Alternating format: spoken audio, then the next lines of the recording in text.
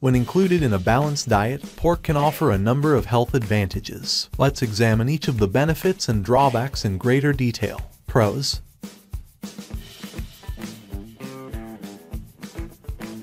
Pork is a high-quality protein source that offers all the key amino acids the human body requires. It is a good source of protein. Building and mending tissues, such as muscles, skin, and bones, depend on these amino acids. Rich in vitamins and minerals, pork is a good source of vitamins and minerals that are crucial for health, including iron, which is necessary for the delivery of oxygen and the generation of energy, and B vitamins, which are vital for the metabolism of energy and proper brain function.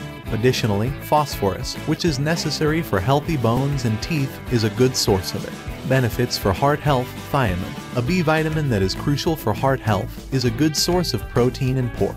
It has been demonstrated that by enhancing blood flow, lowering inflammation, and assisting in heart rhythm regulation, it lowers the chance of developing heart disease. Weight management. Pork is a lean meat that has fewer calories and fat than other animal proteins like beef and lamb making it a smart choice for anyone trying to maintain or reduce weight. Cons, high in saturated fat. Saturated fat, the harmful kind that can raise cholesterol and cause heart disease, can be found in large amounts in pork. Large amounts of saturated fat consumption may also increase the risk of type 2 diabetes, stroke, and other chronic illnesses. Risk of foodborne illness. If not cooked properly, pork can contain foodborne pathogens including Salmonella and E. coli, which can result in food poisoning.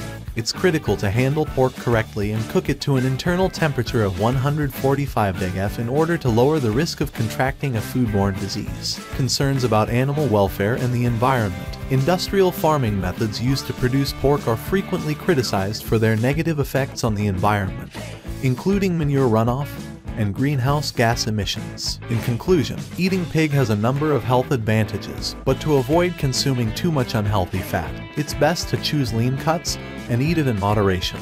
When choosing foods, it's crucial to adhere to established food safety procedures and take ethical and environmental considerations into account.